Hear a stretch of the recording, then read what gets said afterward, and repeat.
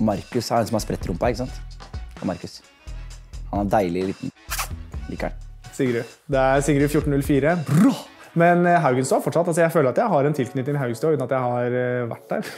To ganger var jeg statist i Rådebank. Hvorfor har de klippet meg ut? Jeg sto der og gjorde en god jobb, men jeg står jo sånn her.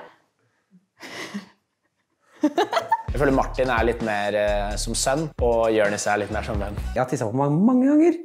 Hvis det er mening. Men sønner kan jo være venner òg, med faren sin. det er trist. Hvis jeg skal være på hytta én dag, så velger jeg Jonis. Skal jeg være der en uke, så velger jeg Henrik. Fuck you, Ray J!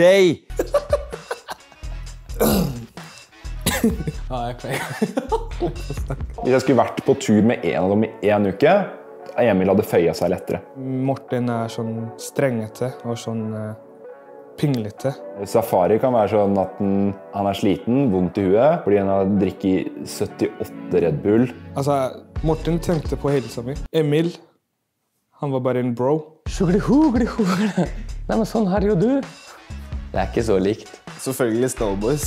24 år, dævlig spiller som 42. Fy faen, han sa snowboard, da. Jeg roper shotgun når jeg puller opp i min Opel. Er ikke min bil, pappa kjørte meg til skolen. Det er bra. Potetmos. Jeg elsker potetmos. Det er det eneste jeg kan si. Jeg er veldig avhengig av potetmos. Hvis du bare er tusjonær, så er du liksom bare sheriff blant gutta boys. Vil du bli tusjonær? Woo! Hun var ganske pen. Det er kanskje ikke så ille å være singel likevel, liksom. Og så snudde hun seg, og så var jeg Tone Damli Aaberge. Aldri ring meg. Aldri ring meg. Aldri ring meg. Aldri ring meg. Aldri ring meg. Burger er eh, bedre enn fries. Moelven burger. Burgerbrød, ost og skinke. Er skinka burgeren, eller er skinka tilbør til burgeren? Nei, det er burgeren. Jeg har begge deler, så det. Men da vil jeg si ADHD, for det er ganske fett. skjønner du. Fordi vi heter Doma, vi. Det kommer fra Asia. Vi lurer deg, du ikke vet noen ting. Jeg må velge Erna Erna. Av humor, Gøyal. klesstil Og så er hun, hun er jo fin dame, da. og bergensdialekter. Alt bortsett fra politikk. Pupp. Jeg er puppegutt. Nei, rumpe kanskje.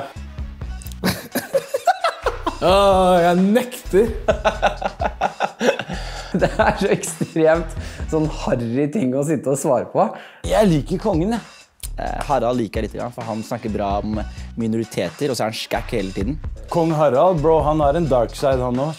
Hadde det vært tøffe tider nå, trust me, kongen hadde stått der på balkongen med sånn AK-47 og bare skutt i været, han òg. Altså. Eh, altså, er det én ting jeg respekterer, så er det monarker som røyker hasj. Det kan jeg si at jeg setter det veldig høyt på min liste over ting jeg respekterer. Eh, Yeezy. Kanye. Han syns jeg er eh, en spesiell fyr, men jeg liker det. Han er gæren, og jeg liker gærne folk. Jesu Kristi føler jeg eh, begynner ikke å bli gammelt av. Eventyr er vi ferdig med. Da er det greit å steppe opp eh, gamet litt.